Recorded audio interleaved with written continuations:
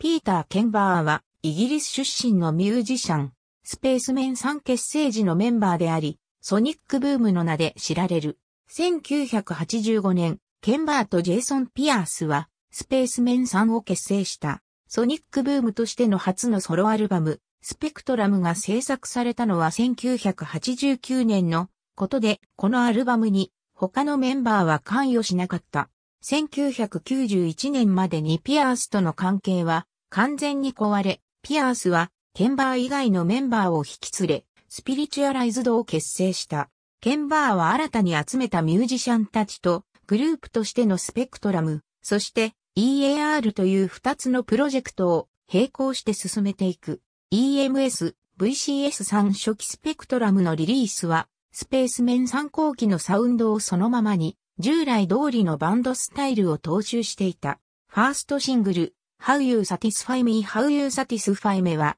チップ・テイラー作のヒット曲、I Can't Let Go 1960年代、ガレージバンドのスタイルで再構築したものであった。1992年のソウルキスソウルキスは、よりドローン、実験的な楽曲が繰り返され、1994年のハイズ、ローズヘブンリーブローズでは、よりメロディを重視したものへ変化した。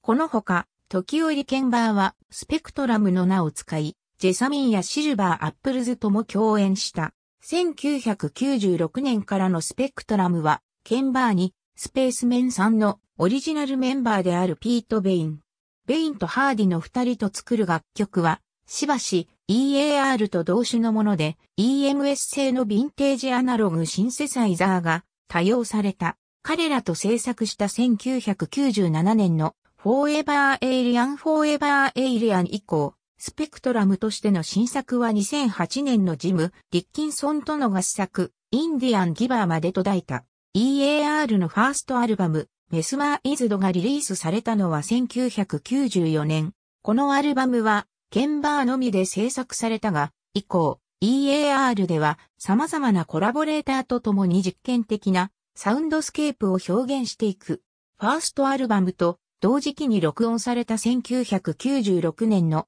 セカンドアルバム、ビヨンド・ザ・ペイルでは、マイ・ブラッディ・バレンタインのケビン・シールズに、ケビン・マーティン、 AMM のエディ・プレボーが参加。1997年には、ドイツのミュージシャン、トーマス・コーナーによって、リミックスアルバム、ザ・クーナー・エクスペリメントがリリースされた。再びケンバー単独での制作となったデータレープでは、サーキットベンディングのテクニックが導入された。この手法は EP、バイブレーションズ、コンティニュアムにも引き続き用いられている。また、後者2作は2001年に死去したデリア・ダービーシャーと共に制作された作品である。彼女は1960年代に活躍した電子音楽、実験音楽の先駆けとも言える人物で、ケンバー自身も大きな影響を受けたことを公言している。スペクトラムのフォーエバーエイリアンには彼女の名をそのまま拝借したデリア・ダービシェアが収録されているほか、